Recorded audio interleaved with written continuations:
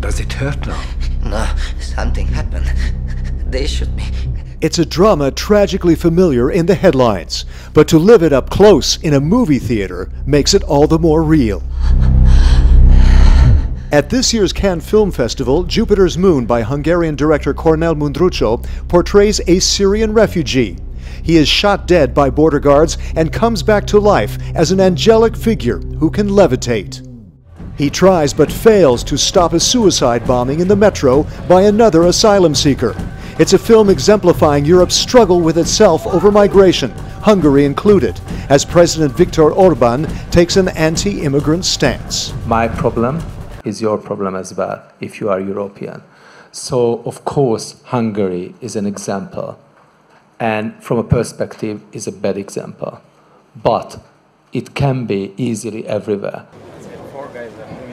In her directorial debut, actress Vanessa Redgrave takes you inside the lives of refugees. Redgrave says she hopes her film Sea Sorrow helps to stir more compassion at a time of mixed feelings among many Europeans.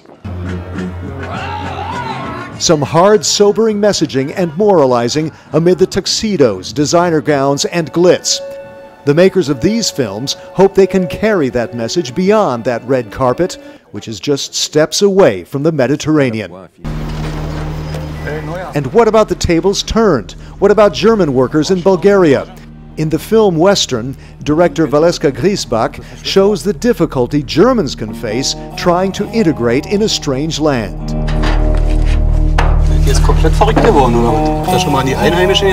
When I realized I had this setting about these uh, German workers, construction workers working in another country, where they're themselves strangers, but they have all this desire to get in contact, but at the same time this mistrust and oh, fear.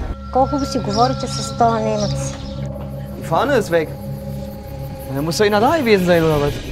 In such an idyllic place as Cannes, it's easy to forget about the thousands of people who've died trying to cross this sea. This festival has films that aim to jar a desensitized public back to reality, and their creators hope that will move people to action. Chris Burns at the Cannes Film Festival